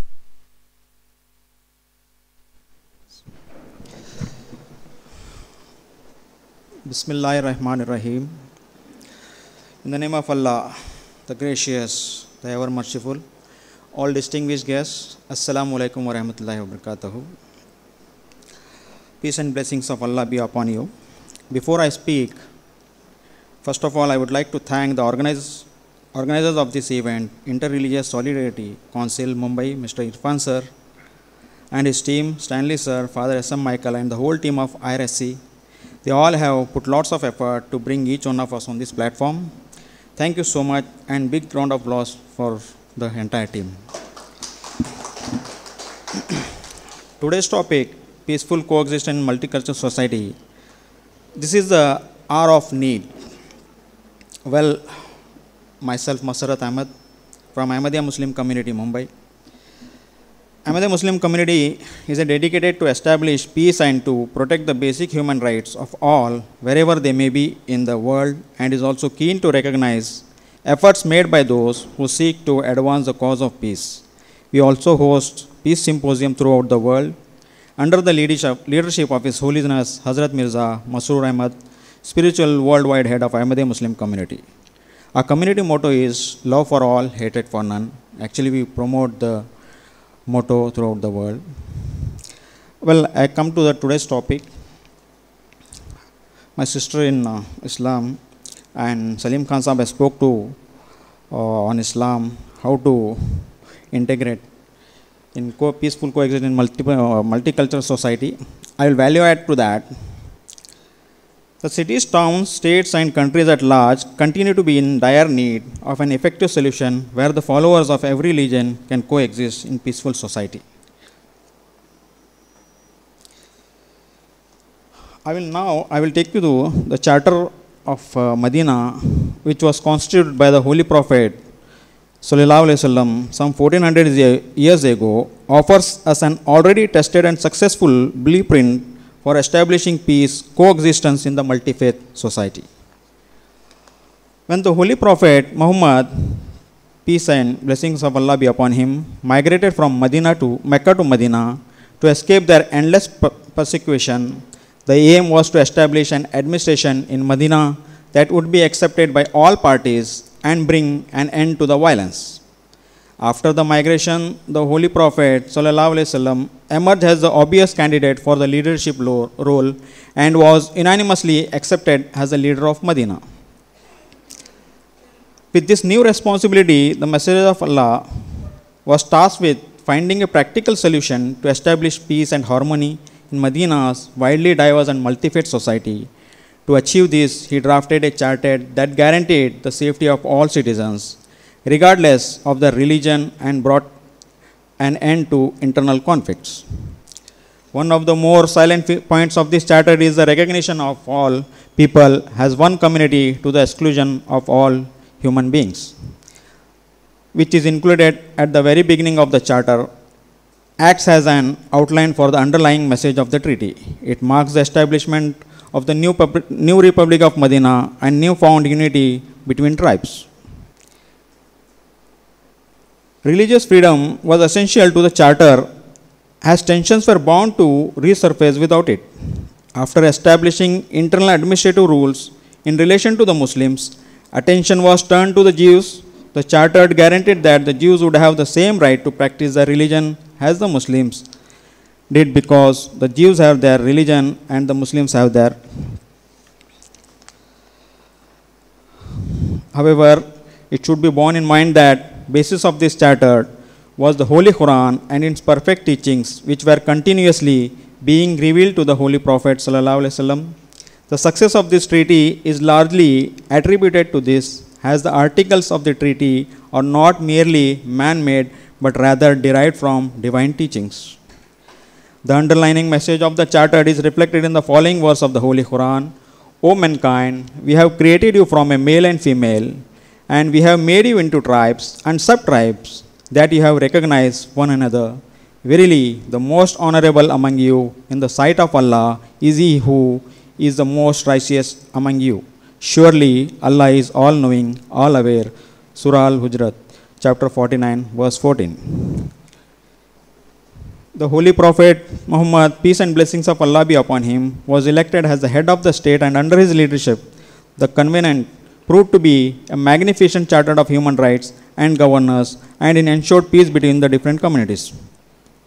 For example, on one occasion, an affluent lady committed a crime, and many people suggested that, given her high standing in society, it is better to turn a blind eye to her crimes. The Holy Prophet Muhammad, peace and blessings of Allah be upon him, rejected their advice and made it clear that even if his daughter committed an offense, she too would be subject to the law and no favoritism or nepotism would occur. The reality is that Prophet of Islam, peace and blessings of Allah be upon him, spent every moment of his life championing the rights of people. And though the teaching of Islam he established an incomparable and timeless charter of human rights. For example, he taught that people should respect the belief and feelings of one another. They should abstain from criticizing what others held scared. Once a Jewish person came to him and complained about the conduct of one of his closest companion, the Prophet of Islam, peace and blessings of Allah be upon him, summoned him and asked what had transpired. He said that the Jew had claimed that Moses, peace be upon him, was superior in rank to the Prophet of Islam Peace and blessings of Allah be upon him, and he could not tolerate this. He had strongly refuted it and said, The Holy Prophet of Islam, blessings of peace be upon him. Upon this Holy Prophet, give me one minute. Upon this, the Holy Prophet Muhammad, peace and blessings of Allah be upon him, expressed his displeasure with his closest confidant and said that he should not have argued with the Jew and should instead have respected his religious sentiments. These were his peerless teachings, and in my view, it is deeply regretted that the principle of mutual respect, which is means of establishing love and unity, has been sacrificed in modern world in the name of so-called freedom and the name of entertainment. Well, it was an outstanding example of successful integration and a manifestation of a peace and tolerant multicultural society. The Treaty of Medina was based directly upon the teachings of Holy Quran. For chapter, uh, for example, chapter 16, verse 91 of the Holy Quran states, Verily, Allah enjoins justice and the doing of good to others and giving the mankind. Thus, the Holy Quran was the outline three levels of engagement with other people and other communities. The first and minimum level is of justice, whereby, whereby the Holy Quran advocates the need to treat everyone fairly and, equi- and equitably. The standard of justice required by Islam are outlined in chapter 4, verse 136 of the Holy Quran, which states, O ye who believe, be strict in observing justice and be witness for Allah, even though it be against yourself or against parents and kindred. Whether he be rich or poor, Allah is most grateful to them both than you are. Well, I have very short of time. Let me conclude with these few words. I would like to conclude with below prayers. It is my heartfelt prayer that may Allah, the Almighty, enable true peace to emerge and may the long shadows of war and conflict that hover above us be replaced by blue skies of peace and prosperity. I pray for an end to the frustration deprivation that have plagued the lives of countless people and have fueled devastating wars and grievances across the world. I pray that we come to see the best in humanity and use and use each other's strengths and skills to build a better world for our children and to cultivate lasting peace in society. Surely the alternates do not bear thinking about it. May God the Almighty enable us to do so. Amen. With these words, I would like to thank you all patiently listening to me. Thank you so much. I would like to introduce a book which is a world crisis and pathway to peace. This book is a compilation of the worldwide head of the Ahmadi Muslim community who has visited the whole world of parliaments and given a speech on how to establish peace, harmony, and injustice and how to tol- tolerance. And the, all the speech has been compiled in the book of form of world crisis and pathways. The book is kept on the table if you wish to. This is for free distribution. You can take it. Thank you so much. And now the last speaker, uh, Professor Ram Puniyani. Uh, Ram Punyani works for Communal Harmony. He is the president of Center for Study of Society and Secularism.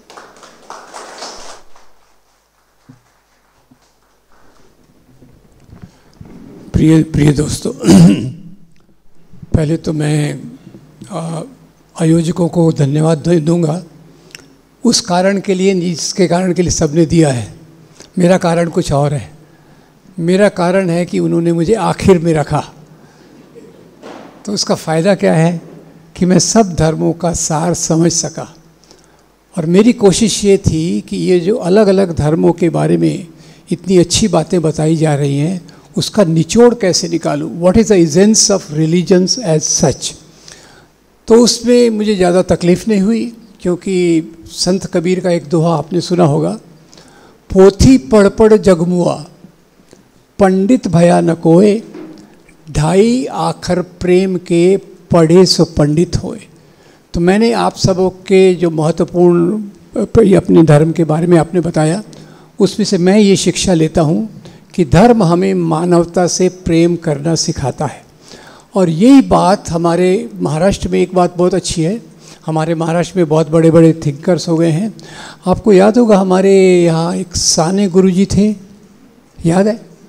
उनकी एक प्रार्थना थी अभी भी school में पढ़ाई जाती है मेरे ख्याल से। कौन सी है वो? खरा तो एक अची धर्म, जगाला प्रेम अर्पावे। यानी वही एक धर्म सच्चा है जो मानवता से प्रेम सिखाता है। अब इसके आगे जहाँ तक सवाल है कि आज हमें इस प्रकार की मीटिंग्स करने की ज़रूरत क्यों पड़ रही है? भारत में सदियों से लोग एक दूसरे के साथ प्रेम मोहब्बत से रहते आए हैं। और मैं जवाहरलाल नेहरू की किताब डिस्कवरी ऑफ़ इंडिया का एक छोटा सा वाक्य बताऊँगा कि भारत एक ऐसे महान स्लेट की तरह है जिसमें अलग अलग सभ्यताएँ, संस्कृतियाँ, धर्म आई। एक के ऊपर एक एक के बाद एक आती रही और नई वाली संस्कृति धर्म ने पुराने को नष्ट नहीं किया। पुराने की अच्छी चीज़ें और नई बातें उसमें जुड़ती गई डिस्कवरी ऑफ़ इंडिया जो आप श्याम बेनेगल के सीरियल में आपने ज़रूर देखना चाहिए। दूसरा मुझे यही लगता है कि भारत में आज धर्म को देखने का जो तरीका है उसमें सबसे महत्वपूर्ण जो मुझे व्यक्ति दिखते हैं वो है मोहनदास करमचंद गांधी। अब वो वैसे तो मैं कंपैरिजन भी मेरे जो गुरु थे असगर अली इंजीनियर साहब उन्होंने बहुत अच्छा एक कंपैरिजन किया था आ, महात्मा गांधी मौलाना अबुल कलाम आज़ाद। तो मैं ज़रा आपसे पूछता हूँ मौलाना आज़ाद साहब के बारे में इस्लाम के बारे में तो कहा गया है। तो जो बात एक रान प्रोफेसर रानू जैन ने बताई और सलीम साहब ने बताया थोड़ा सा मैं विस्तार करूँगा ये दो का एक उदाहरण देने के लिए। तो मैं आपसे पूछना चाहता हूँ मौलाना अबुल कलाम आज़ाद ये मुसलमान थे या नहीं? थे। सरल सवाल है इसलिए आप जवाब नहीं दे रहे मुझे पता है कठिन सवालों का जवाब सब देते हैं।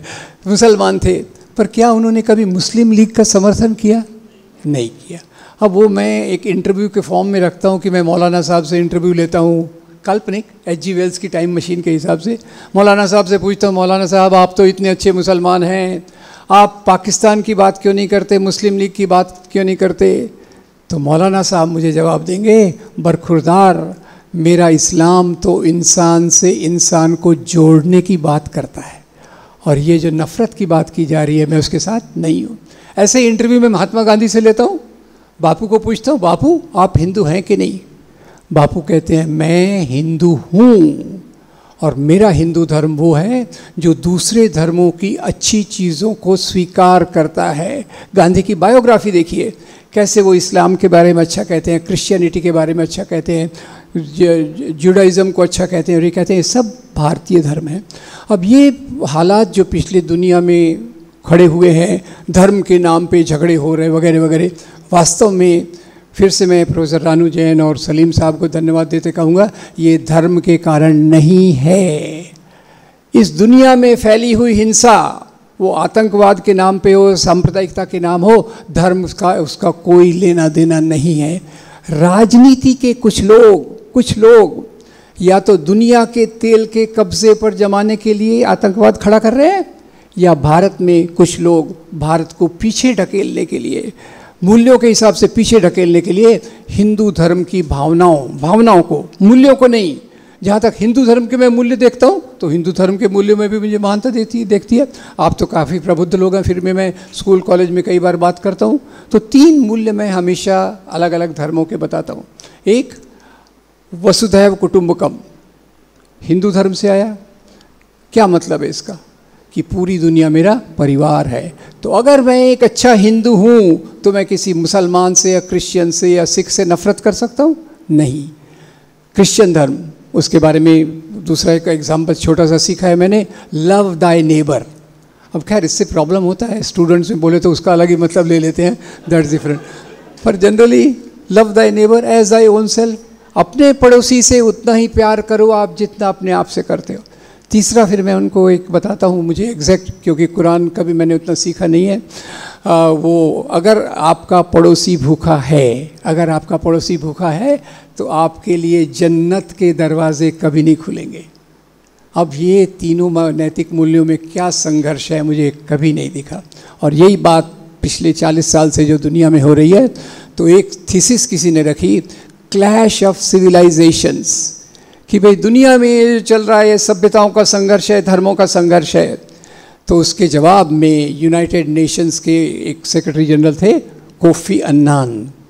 कोफ़ी अन्नान ने एक हाई लेवल कमेटी बनाई और उसने एक रिपोर्ट बनाई। पता नहीं वो रिपोर्ट पॉपुलर क्यों नहीं हुई। उस रिपोर्ट का टाइटल है, अभी भी वो वेबसाइट पे मौजूद है अलायंस ऑफ़ सिविलाइजेशंस क्या कहती है थीसिस कि दुनिया में आज तक मानवता के मूल्यों की जो भी प्रगति हुई है, दुनिया में आज तक मानवता के मूल्यों की जो भी प्रगति हुई है, वो सभी सभ्यताओं, सभी धर्मों के अच्छे पहलुओं के मेल जोल से हुई है। ये बात अलायंस ऑफ़ सिविलाइजेशन की थीसिस कहती है, जो मेरे ख्याल से आज के समय हमारे समाज में सबसे रेलेवेंट है।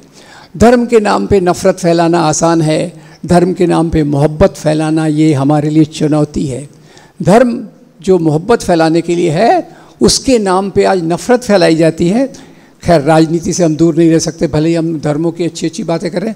मेरे दिमाग में यही है कि आप किसी भी धर्म को माने, उस धर्म के नैतिक मूल्यों को आधार लेकर चलें। जो झगड़े करवाए जाते हैं, वो धर्म के पहचान के आधार पे होते हैं। और तीसरा, झगड़े होते नहीं हैं, हिंसा होती नहीं है, हिंसा करवाई जाती है। और ये हिंसा करवाई जाती है, मैंने कैसे सीखा? वो अपनी वो थी ना कौन M H R D minister थी पहले, वो सास भी बहू में भी काम करती थी। स्मृति ईरानी, अब वो उसको मिनिस्टर बना दिया एम एच आर डी का तो लोगों ने बोला, अरे, ये तो कितनी कम पढ़ी लिखी है। तो बहुत नाराज़ हो गई। थिएट्रिकल स्टाइल में बोली, मुझे कम पढ़ा लिखा बोलते हो? देखो, मैं येल यूनिवर्सिटी से डिग्री लाई हूँ। मैं बहुत इम्प्रेस हो गया। येल यूनिवर्सिटी का रिसर्च फॉलो करने लग गया।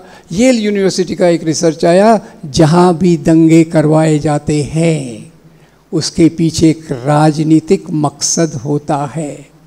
तो मेरा विश्वास कीजिए, आज हम ये जो हमें मिलने की ज़रूरत इसलिए पड़ रही है कि धर्म का दुरुपयोग हो रहा है। धर्म का सदुपयोग हो, ये हमारी कोशिश होना चाहिए। और धर्म का सदुपयोग होने के लिए मेरे पहले के दो तीन धार्मिक नेताओं ने बहुत अच्छी बात कही कि आज की ये जो मीटिंग है, इसी प्रकार की मीटिंग्स बार बार हों। इसमें मैं एक और जोड़ना चाहता हूँ कि हमारे सेंटर की तरफ़ से हमने कुछ पीस सेंटर चलाए हैं। पीस सेंटर्स का उद्देश्य यही है कि लोगों में जो मानवता के मूल्य हैं अलग अलग धर्म के लोगों को जोड़ना, इस जोड़ने के लिए आप अलग अलग प्रकार के सांस्कृतिक कार्यक्रम कर सकते हैं।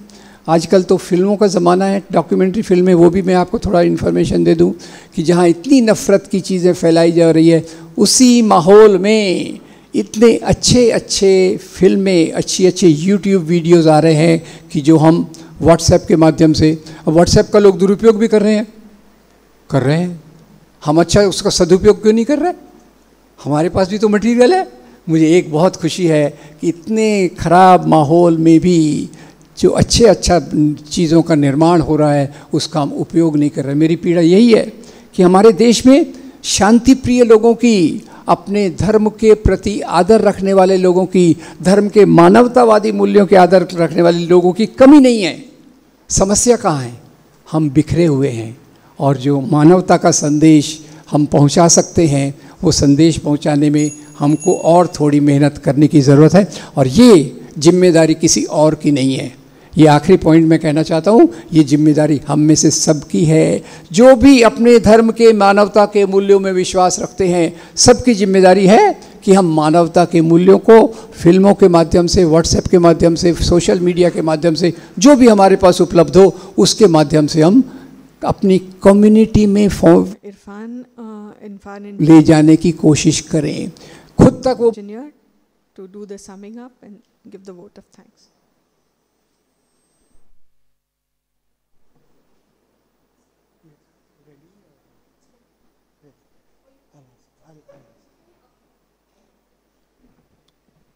Uh, friends, what a beautiful evening we had. Very beautiful. Two, three things. Since we had many speakers from all religions, we didn't give detailed introduction of all because of shortage of time. But each one is very, very learned.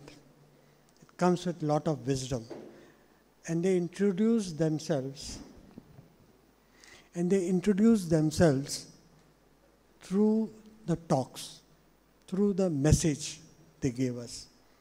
What are this message? I learned quite a lot. This is my way of thanking by recalling some of the message that they gave. One was religion meant anekantvad. Uh, people see truths differently. Each one has its own, his or her own path to reach the truth. And that is Anekantvad.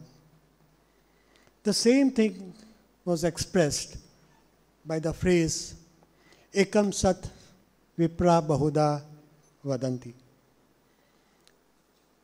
Professor Ram Puniyani told the same thing by stating Vasudev Kutumbakam, the spirit of Vasudev Kutumbakam. Swamiji Mitai Das told us that we are Atma. We are, we are one with Paramatma. We are Paramatma's Atma. The same thing was said by Father Michael that we are made in image and likeness of God. I don't see much difference between these expressions. Language is different, expressions are different, but the essence is same. And because we are in image and likeness of God, we all are invested with dignity. We need to respect each other's dignity.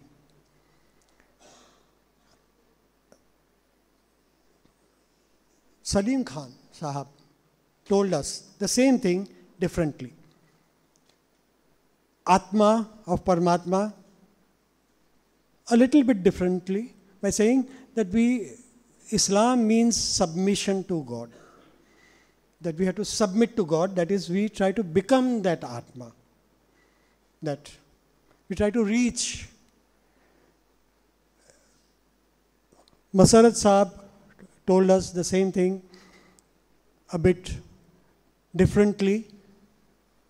Same, I see a lot of commonality, even though expressions are different, by quoting an ayat of Quran, that uh, those who are honored, who, who one, uh, one who is honored, most honored, is one who is most righteous and most pious in his conduct in this life.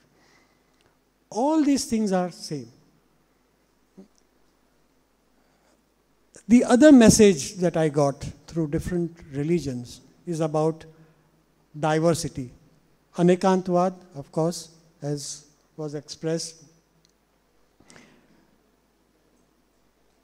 Nikhat uh, Dr. Nikhat Nauman told us uh, that God created diversity so that we know each other. God could have created everybody of same color, same race, same tribe, same nation, but then we wouldn't know each other.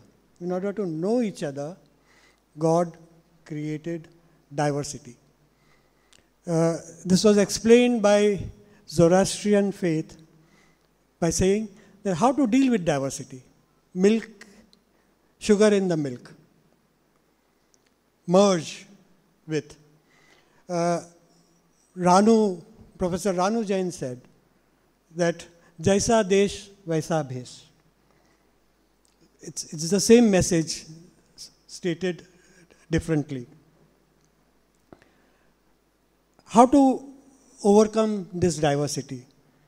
Good thoughts, according to Zoroastrian faith, good thoughts, good words, and good deeds. Love one another was another message that everyone. Uh, we got the message of Tyag and Seva. What are good thoughts, good deeds? Tyag.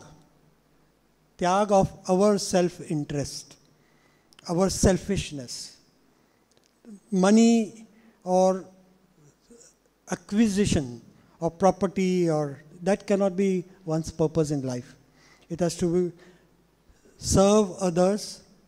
Father Michael also said that how, how does one serve God? If people are thirsty, God is thirsty. Jesus is thir- thirsty. Tyag and Seva. Uh, our purpose in life is to experience the ultimate reality, to, to, to be able to reach God. Why conflicts? Because we, are, we have prejudices. We have racial attitudes towards each other. And why so? Because we are ungodliness amongst us which we have to fight is that we become swarthy, selfish, bloodthirsty. We want privileges. We want status. And all this is counter to what actually religious text is. What one has to do, one, has, one should exalt oneself over, be exalted through good thoughts, good deeds, and uh, good words. Purify oneself. We have common humanity. Justice is one of the purpose. This is the message that we got uh, in this entire session. And I must say, uh, before I announce uh, some of the programs, that this is our fifth meeting. And we are growing in numbers. We are growing in people who are participating. We had to unfortunately restrict time to five minutes because we wanted to include many people and we got that response from different congregations, faith organizations, faith establishments. And then we didn't want only male voice from religions. We wanted even women's perspective. Uh, some could not come, unfortunately, uh, though they were called last minute. Milind Uike uh, from Buddhist faith uh, could not join us for various reasons. Sister Nirja from Brahma Kumari could not join us again for uh, various reasons. And Kuldeep Singh from Sikh faith. He also uh, could not join uh, last minute. But these are, this is the message. The final message that we carry today evening is धर्म का सदुपयोग करें to live, to live the values, ethical path of religion and not use religion as instrument of identity to prevail over each other, to demand privileges. This is what causes conflict. Uh, one or two suggestions that came is that we meet once a month.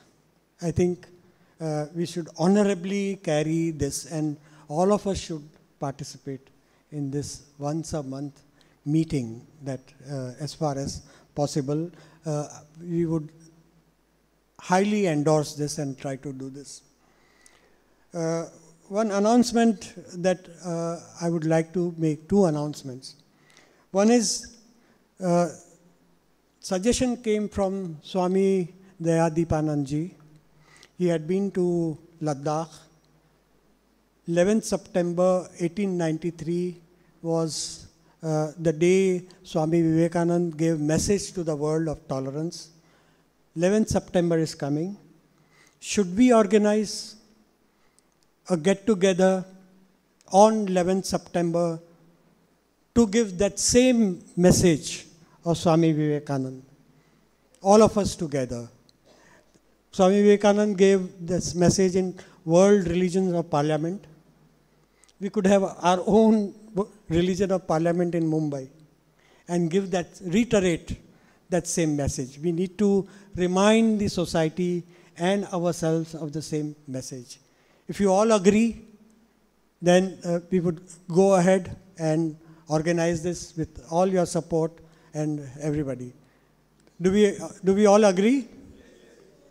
Okay, thank you. Thank you very much. This is something that we'll organize uh, together and we will need uh, your help, your support, your continued support. This is a movement. This is not an event. This is the fifth meeting. Uh, Brother Stanley forgot to mention we had uh, the fourth meeting in Anjuman Islam, and which was again, you know, it was growing and many more.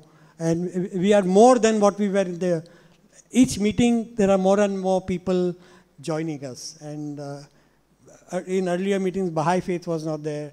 Baha'i faith has become part of it, etc., etc. And we need to grow even more to live the ethics of our religion.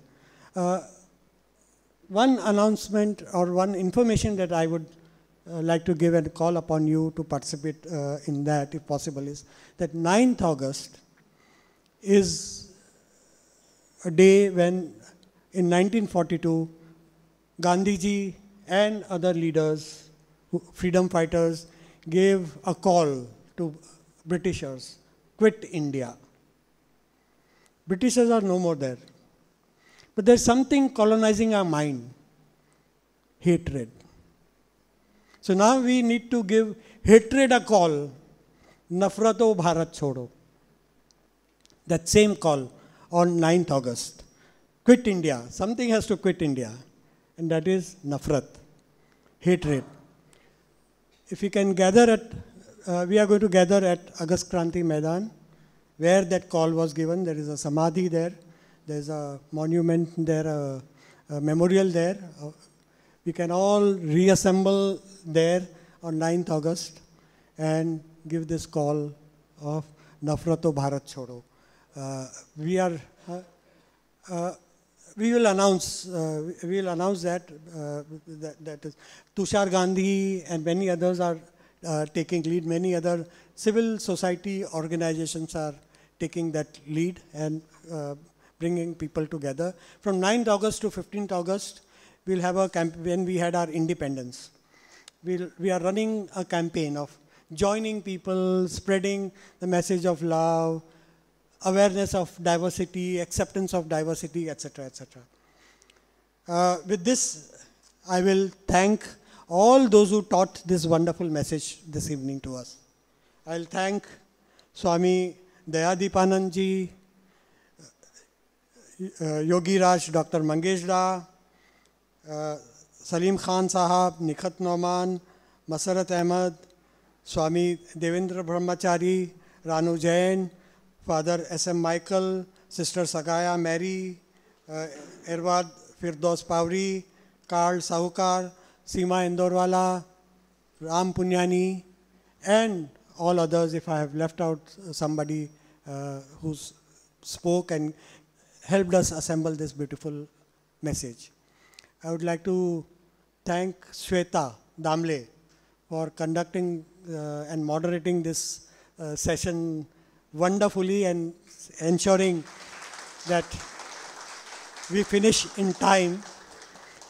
Her bell was a terror, but it disciplined us. It taught us how to submit. The bell was God, to which one all of us had to submit for the moment. Yeah in, in, in, this, in this room. So thank you, Shweta. Thank you, Father Michael and Institute of uh, Indian Culture for giving us this uh, hall. I thank uh, Brother Stanley and all others who helped us organize this. You know, there's a lot of work uh, that goes on uh, because what we see here is a organized, disciplined uh, event but a lot of work goes on behind this, and all those who worked, Interreligious uh, Solidarity Council, uh, which works to bring, and many people work voluntarily. Actually, we all work voluntarily and spend money uh, out of our own pockets. That is why there is a donation box there. Little bit contribution, whatever possible by any one of you. It's, it's an encouragement to us carry on this uh, good work. Uh, we don't feel discouraged if the box is empty. We don't feel discouraged uh, because we are inspired by religious ethics and the love. But uh, a little donation for, uh, for whomever possible, it helps us to take care of uh, certain things. For sale, there are some books that to, for anyone who's interested in reading those messages, uh, Seema Indorwala has kept some book uh, from Baha'i Faith, uh, Masarat, uh, other publications also, and they are available free. But if you may not have time to read, then it can be better used by somebody else who is going to read. And there are some books uh, that are prized. And all. thank you all, all the participants, wonderful participants who came at 4.30, right in time, enabled us to sharp, start this session sharp at 5 and finish in time. Thank you all. Thanks. Just a minute. Uh, one more, one more. Uh, this entire evening has been captured by Neha Dabhade in a statement which could go from this evening. Just one minute. And, uh, and after that, although I have to rush because we, we have to catch a train and go to Kolhapur, uh, I won't be there. But if I can request all of you to collectively get yourself photographed, especially with today's resource person in the front line. Uh, I mean, it, it, it's a memory. We will know that uh, these people, uh, these many people came. Although I and Neha uh, won't be there, but if you still can get, uh, because uh, our train is at 8.20 from Dadar, so we have to rush. So Neha will read the statement. Just, just two, two minutes, two, two more minutes. It's a very brief statement that captures the evening and that statement will go out to everybody. I think there is a lot of wisdom that has uh, be, you know, emerged from this very, very August uh, meeting, and it's very difficult to kind of capture it in one statement. So forgive me if I have not done complete justice, but I have tried. And uh, I, I, hope, uh, I, leaving technicalities apart, if I have you know, mispronounced someone's name or anything, I'll correct that. But if the essence of the message and statement you feel is okay, it will be circulated as an endorsed statement by all the participants today. So I'll very uh, quickly read it. Uh, please let me know if I have to read it a little more slowly, I'll do that. Um, okay, the statement goes like this. On July 20th, 2024, the Interreligious Solidarity Council in Mumbai convened a significant and rich gathering of faith leaders and influencers from diverse religious communities. This gathering reaffirmed a collective commitment to mutual respect, peaceful coexistence, and inclusion within our religious and culturally rich society. The discussions held underscored the deep rooted traditions and teachings of each religion, emphasizing values such as compassion, service, and acceptance. Faith leaders from Hinduism, Islam, Christianity, Baha'i tradition, Zoroastrianism, Jainism, and rationalist perspective shared profound insights from theological and philosophical perspectives. A common thread that emerged from these discussions was the universal values of oneness, acceptance, inclusion, and non discrimination underscored by all religions towards the members of our communities. Swami Dayadeepanand underlined that we live in a diverse society and that has to be embraced. He pointed out that there is one ultimate reality realized through bliss, Ramakrishna Mission is a living example of this philosophy of Vivekananda, Swami Vivekananda and Sri Krishna and serves all members of society equally without discrimination. Swami Devendra Brahmachari ji similarly underscored the salience of creating spaces for dialogue and collectively seeking solutions to misunderstandings and discords. Yogiraj Dr. Mangeshda pointed out that we are all one. He cited the example of Swami Vivekananda who underlined this oneness in Hindu religion in his speech at Chicago. Hindu religion has held the principle of Atiti Deva Bhava as core and thus opened its arms to members of all communities and religions. Janu Dvipa Nitai Hariji emphasized on taking the central message of oneness to the larger society. The message of universal brotherhood will bind society. Nikhat Noman explained the inspiration of peaceful coexistence in Islam can be traced to two sources, that of the Holy Quran and the other of the Sunnah. Both pointed towards the unity of human race and unity of religion, which manifests itself in the form of different tribes, religions, and nations. Allah has sent messengers and books in all religions as we see them today, but their message is essentially one. Islam has emphasized that there has to be equality and non-discrimination towards non-Muslims. Salim Khan said, Islam promotes peace, which is ingrained in the very human nature. Islam doesn't believe in compulsion or coercion. Islam teaches that human beings have agency. Allah places virtue in forgiveness. Masarat Ahmad emphasized rejection of hatred, and exclusion, citing the Charter of Medina. The Charter guaranteed freedom of religion of all members, irrespective of their religion. Father S.M. Michael pointed out the geography and other factors, though have given rise to differences in food habits, occupations, and languages, but common humanity is important. We are all created in the likeness of God. Jesus gave emphatically the message of service to all human beings. Father Michael emphasized on dignity of human beings in Christianity. Sister Sagaya reminded us that peace is an active pursuit and Bible lays primacy on justice and voice for voicelessness. Sorry, voice for the voiceless. Differences can make us appreciate divineness, creating symphony of faith. Seema Indorwala explaining the tenets of Baha'i faith underscored that Baha'u'llah emphasized that there is unity, oneness and harmony in all religions. This earth is one country and the human race is its citizens. The Baha'i philosophy embraces oneness of all human beings. Firdaus Pavri pointed out that Zoroastrian religion the, in the Zoroastrian religion, the key message is that of good thoughts, good words, and good deeds, which help human beings to follow the path of righteousness and guides and has guided Parsis to integrate meaningfully in the Indian society. Karl Sahukar too traced back the teachings of peaceful coexistence in the Zoroastrian faith to Cyrus and a cylinder of human rights, which has guided human society for centuries. Ranu Jain explained the central tenets of Jainism Ekantavad, one of the important principles, emphasized multidimensional nature of truth and thus the fluidity of the Jain religion. As Jainism doesn't impose a social code of conduct, it has helped members of the religion to integrate meaningfully in a multicultural society.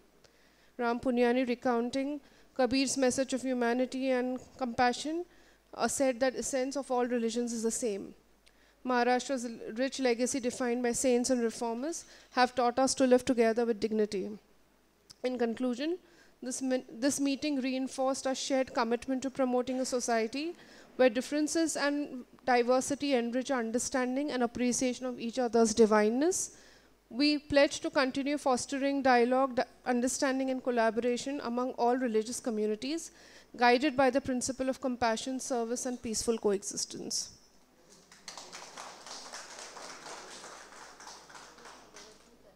I'll do that, I'll do that. Yeah, yeah. Okay, can we just have a picture because this does call for a very, very nice picture where we celebrate this diversity. So can we all come gather in the front and we can all have a picture. Thanks. I'll correct.